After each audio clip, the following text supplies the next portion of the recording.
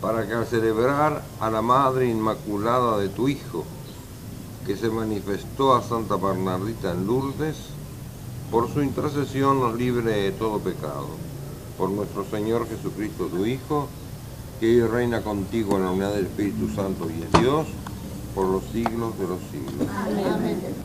Como les decía, este año hay muchas, muchas cosas importantes en la iglesia. En primer lugar, no sé si ustedes ven, saben, del Papa. ¿El Papa quién es? ¿Conocen? Francisco, es argentino y está haciendo mucho trabajo, mucho trabajo eh, en todos los pueblos para acercar a los hombres, porque ustedes saben que los hombres, lamentablemente, en lugar de ser hermanos, somos como enemigos y estamos enfrentados. Y así hay muchas guerras, y el Papa va a lugares muy, muy difíciles.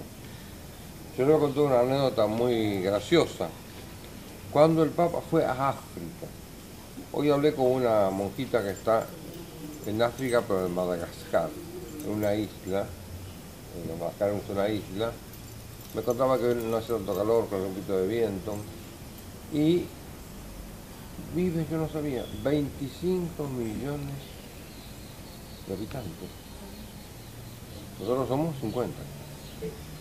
¿No? 50, ¿no? O, menos.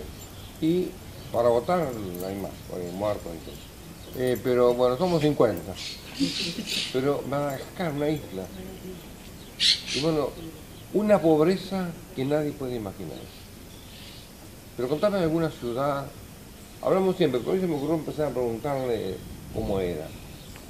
Porque siempre me invitan a que vaya, hay un grupo de hermanas de San José, y que vaya, que vaya. Bueno, y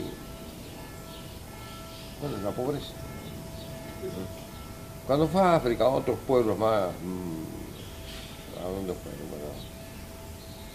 no me acuerdo los pueblos que fue, pero pueblos están en guerra, triviales el presidente de Francia, las Naciones Unidas, todo el mundo se va, no, no vaya, Santo Padre, no.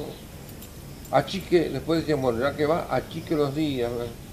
Y el Papa dijo, yo no le tengo miedo a nadie, solamente le tengo miedo a los mosquitos.